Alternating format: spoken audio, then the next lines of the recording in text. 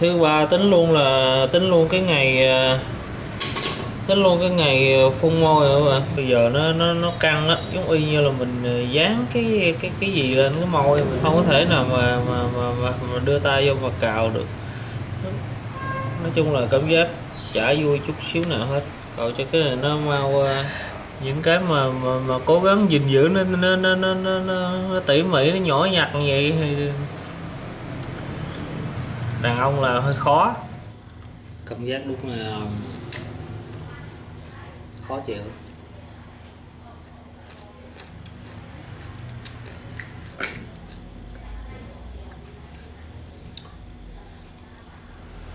Giống như là bị cái lớp ờ, keo nó phủ lên cái môi. Ngứa mộm quá. Ngứa mộm quá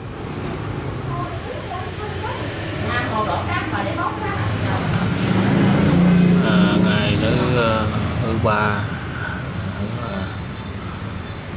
Thứ, ba nó nó khô hết. Rồi. vòi trên trong rồi.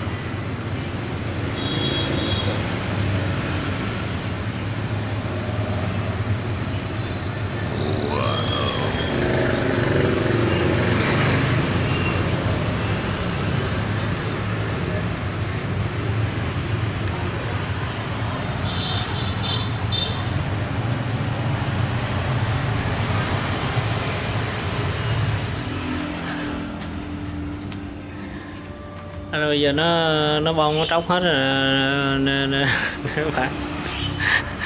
Nhìn nhìn kinh quá.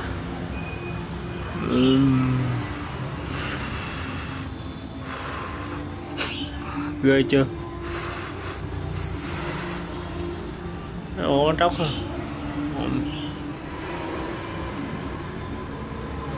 kinh quá. Rồi sáng này sáng này nó nó nó, nó nó không bông miếng bự lắm. Bông miếng bự lắm mà, mà, mà lo làm từ sáng giờ. Rồi quay lại nó mất tiêu rồi. Không biết có nuốt mẹ trong bụng không biết nữa.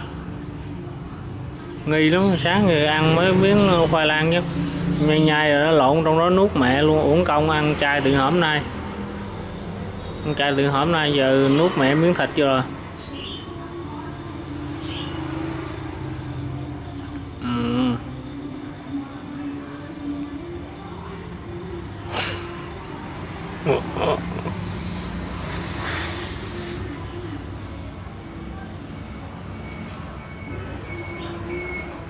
Nhìn giống y như là ai thích ăn món ờ, da heo luộc cuốn bánh tráng á. Món này, giờ cuốn bánh tráng nè.